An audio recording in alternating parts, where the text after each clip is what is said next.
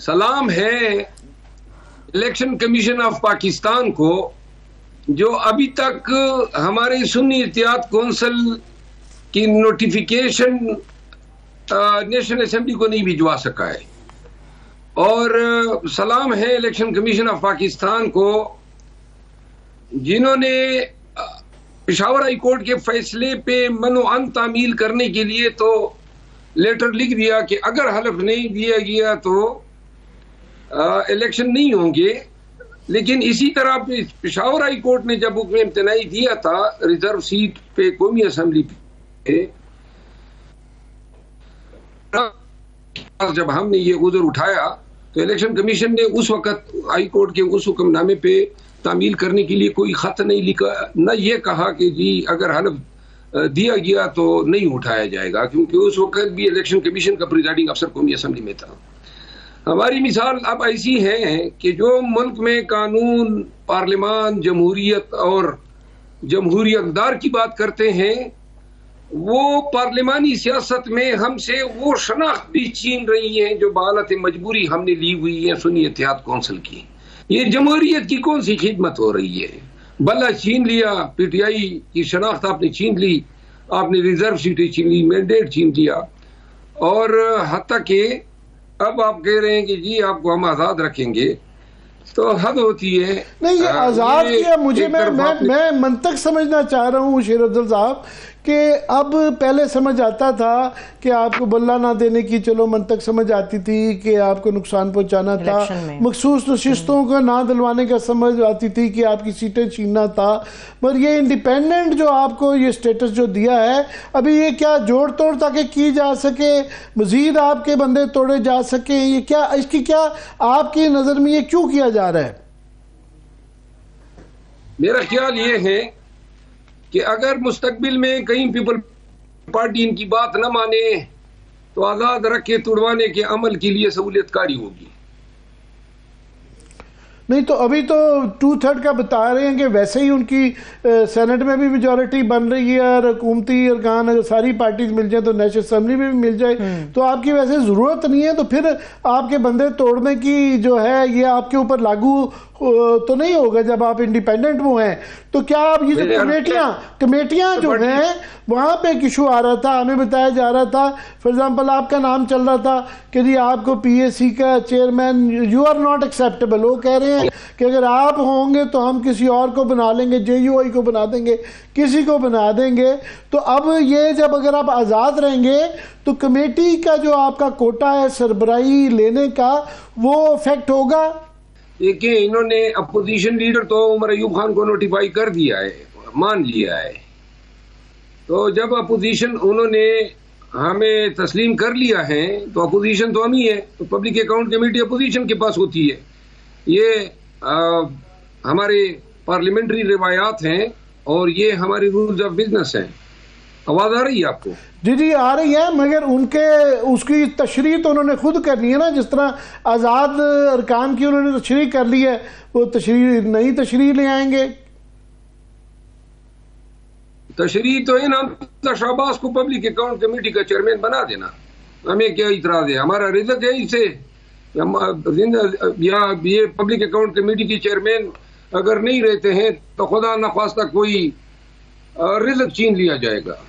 नहीं एक, एक नूर नूर आलम साहब जब बनाए जाएँगे तो आपको कहीं ना कहीं तो तकलीफ़ होगी।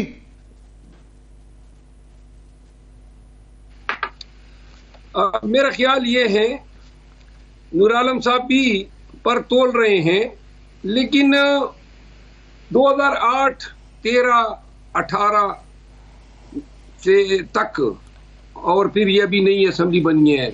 असूल कायदा रिवायत तो यही रही है कि जो अपोजिशन होती है उसी के पास पब्लिक अकाउंट कमेटी होती है।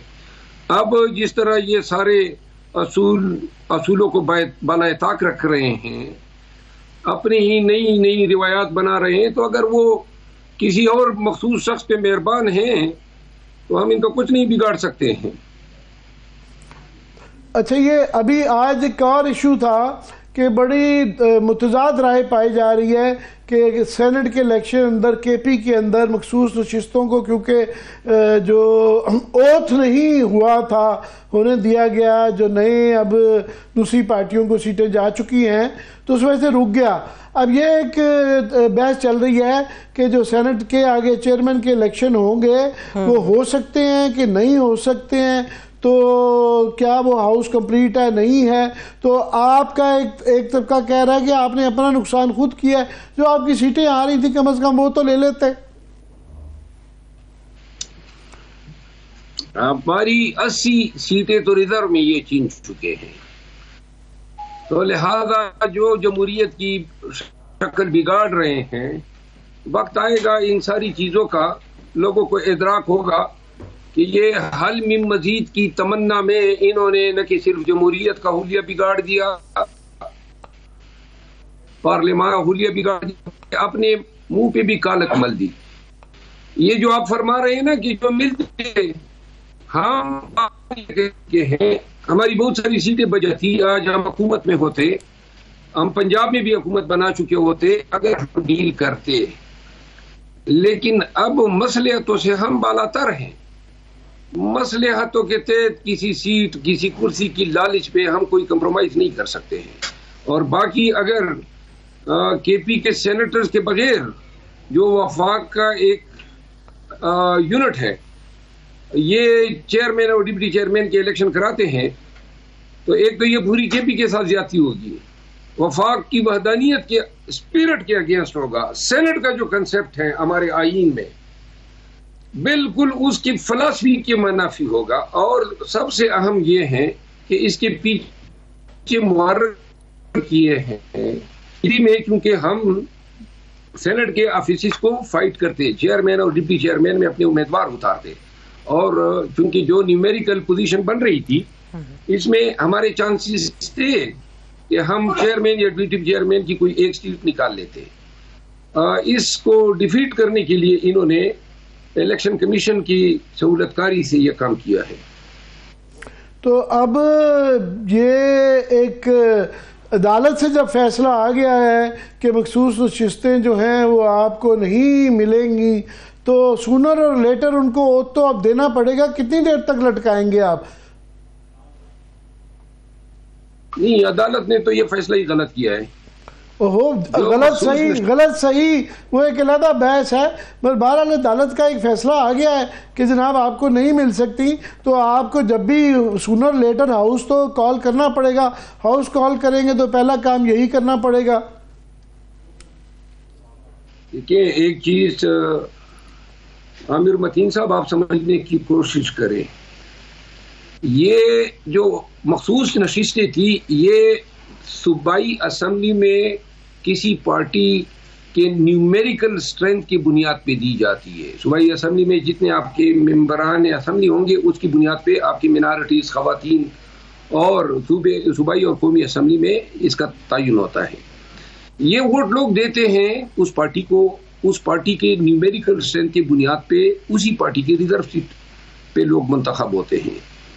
यहाँ इलेक्शन कमीशन ने ये कहा कि जो वोट पीटीआई को पड़ा है, जिसके नतीजे में इसने रिज़र्व सीट बनानी है या लेनी है, वो रिज़र्व सीट नून को दे। अब इस मंतिक की, इस दलील की, इस फलसफे की समझ किसी कानूनदान को नहीं आ रही है। और पेशावर हाई कोर्ट ने जब हमारी रिट खारिज की तो शायद इस इंतहाई अहम नुक्ते को एड्रेस करना भूल गए। तो लिहाजा अगर ये सीटें बिलफर्द अगर हमारी नहीं बन सकती थी तो ये किसी दूसरी पार्टी को नहीं दी जा सकती थी, या खाली रहनी थी।